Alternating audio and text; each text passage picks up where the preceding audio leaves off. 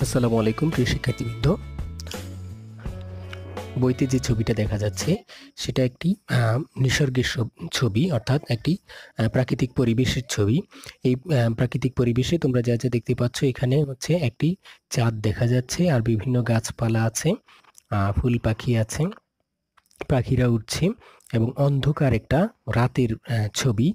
দূরে যে পাহাড় দেখা যাচ্ছে, অর্থাৎ অদ্ভুত এক মায়াময় পরিবেশের ছবি এখানে দেখা গেছে এবং এই অদ্ভুত মায়াময় পরিবেশে একটি বালককে আমরা দেখতে পাচ্ছি। তো এই পরিবেশটা মনে হচ্ছে যে রাতের একটি পরিবেশ। রাতের প্রকৃতি সবসময় সুন্দর হয়, তোমরা জানো। সেটা শহরেও কখনো কখনো খুবই সুন্দর।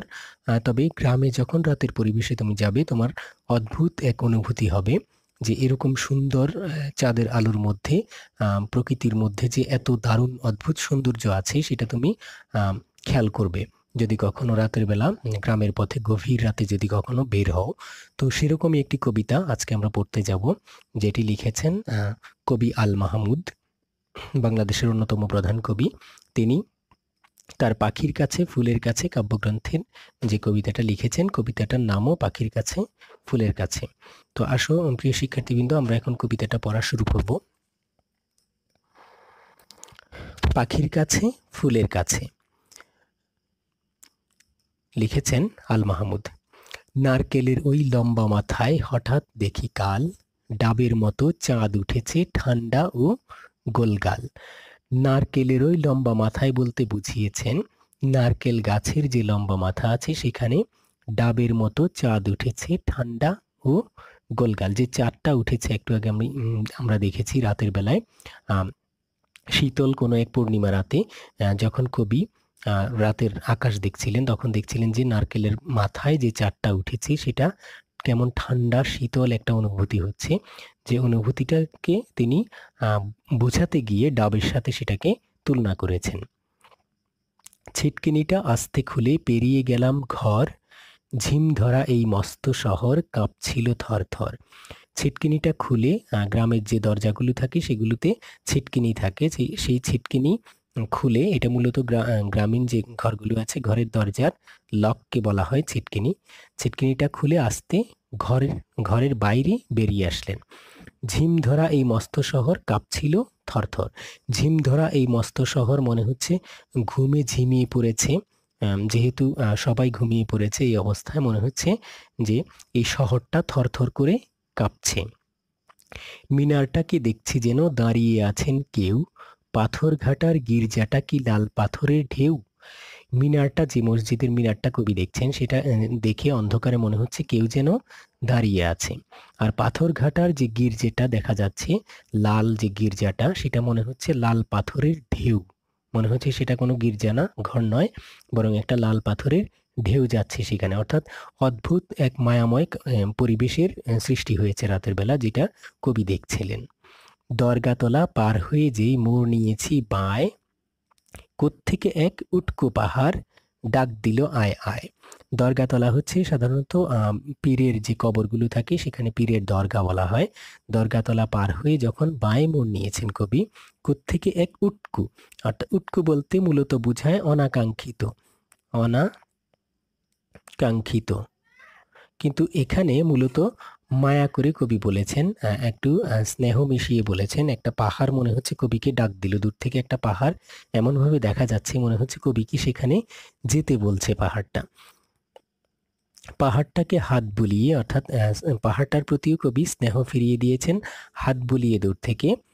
লাল দিঘির ওই দিঘির ওই পার, এগিয়ে দেখি জোনাকিদের বসেছে দরবার।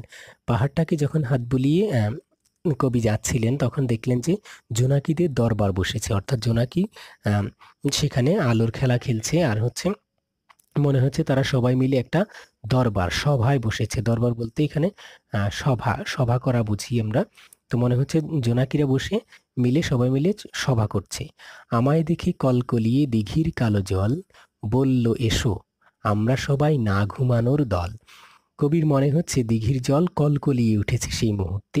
অর্থাৎ পরিবেশটা এত মায়াময় পরিবেশ যে কবি একটার পর একটা উপমার মাধ্যমে কিন্তু সেই পরিবেশটাকে বর্ণনা করছে।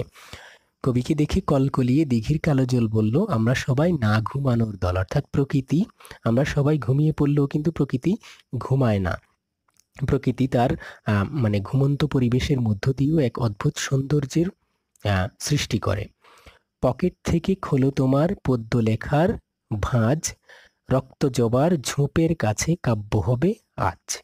পকেট থেকে তোমার পদ্য লেখার ভাঁজ খুলে ফেলা। অর্থাৎ ভাঁজ করা যে কাগজটা আছে কবিতা লেখার, পদ্য লেখার মানে কবিতা লেখা সেটা খুলে রক্ত জবার ঝোপের কাছে কাব্য হবে আজ। কোথায় কাব্য হবে তোমাদের প্রশ্ন থাকতে পারে। রক্ত জবার ঝোপের কাছে কাব্য হবে। অর্থাৎ সেখানে বসে কবিতা বলবেন কবি। দিঘির কথায় উঠল হেসে ফুল পাখিরা সব। কাব্য হবে কাব্য হবে জুড়ল কলরব। অর্থাৎ দিঘির এই কথা শুনে মনে হচ্ছে প্রকৃতির সবাই একসাথে বলে উঠ- উঠছে, কাব্য হবে কাব্য হবে জুড়ল কলরব কলরব করছে, কোলাহল করে উঠছে। কলরব মানে হচ্ছে কোলাহল, একসাথে সবাই কথা বললে যেটা হয়, সেটা হয়েছে, মনে হচ্ছে সমস্ত প্রকৃতি একসাথে বলছে যে কাব্য হবে কাব্য হবে। মূলত এটা কবি মনের অনুভূতি।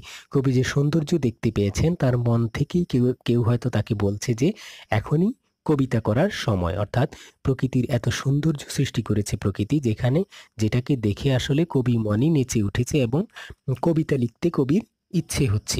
সেটাকেই মূলত কবি কবিকে যে এই প্রকৃতি কবিতা লেখায় উদ্বুদ্ধ করছেন, সেজন্যই কবি মূলত বলেছেন যে, কবিকে ডেকেই এই প্রকৃতির বিভিন্ন উপাদানগুলো বলছে যে কাব্য হবে। কি আর করি পকেট থেকে খুলে ছড়ার বই, পাখির কাছে ফুলের কাছে মনের কথা কই? মনের কথা কই কই মানে হচ্ছে বলি। কবি এই- এই সুন্দর, অদ্ভুত, মায়াময় প্রাকৃতিক পরিবেশ দেখে কবির মনে মূলত কবিতা লেখার প্রেরণা জাগ্রত হয়েছে এবং এই প্রেরণাটা জাগ্রত করেছে এই পাহাড়, এই জল, এই পাখি, ফুল, যে চাঁদ আছে চাঁদ এবং সমস্ত কিছু মিলিয়ে যে প্রকৃতির অদ্ভুত সৌন্দর্য, এই সৌন্দর্যই কিন্তু কবির মনে কবিতা লেখার অনুপ্রেরণা জাগিয়ে তুলেছেন। সেজন্য কবি নিজেই বলেছেন যে এই কবিকে দিঘির কালো জল ডাকছে। অর্থাৎ কবিকে সবাই আহ্বান জানাচ্ছে এই সুন্দর প্রাকৃতিক পরিবেশ কবিতা লেখার জন্য। মূলত এই কবিতার মধ্য দিয়ে কবি প্রকৃতি এবং মানুষের যে অবিচ্ছেদ্য সম্পর্ক সেটা দেখিয়েছেন। জীব এবং জ্বরের মধ্যেও যে অসাধারণ সম্পর্ক রয়েছে সেটা আমরা কেবল বুঝতে পারব যখন আমরা প্রকৃতির কাছে নিবিড়ভাবে উপস্থিত হব। তখনই কেবলমাত্র আমরা এই অন্ধকার রাতের অদ্ভুত মায়াময় পরিবেশ নিজে যখন দেখব তখনই কেবল এই অনুভূতিটার মধ্য দিয়ে আমরা যেতে পারব। মূলত এই কবিতায় কবি প্রকৃতির প্রতি তার যে ভালোবাসা সেটা দেখিয়েছেন এবং আমাদেরকেও প্রকৃতির প্রতি আগ্রহী করে তোলার চেষ্টা করেছেন। আমাদের প্রকৃতি আমাদের যে বাংলাদেশ সমগ্র দেশটাই আস- আসলে প্রাকৃতিক সম্পদে ভরপুর। ফলে আমাদের যে গ্রামগুলো রয়েছে, সেগুলোর যে রাতের বেলার অদ্ভুত সৌন্দর্য তৈরি হয়, সেটাই এই কবিতায় তিনি তুলে ধরেছেন এবং প্রকৃতির প্রতি আমাদেরকে আগ্রহী করে তুলতে চেয়েছেন। তো প্রিয় শিক্ষার্থী, এখানে আল মাহমুদের মনোভাব যে মনোভাব প্রকাশ পেয়েছে সেটা হচ্ছে প্রকৃতির প্রতি তার ভালোবাসা, প্রকৃতির সৌন্দর্যের প্রতি তার যে ভালোবাসা এবং এই সৌন্দর্যই যে তাকে কবিতা লিখতে অনুপ্রাণিত করেন সেটাও তিনি বলতে চেয়েছেন এই কবিতায়। তো আশা করি প্রিয় শিক্ষার্থী তোমরা এই কবিতার যে মূল কথাটা সেটা বুঝতে পেরেছ। সবাইকে ধন্যবাদ।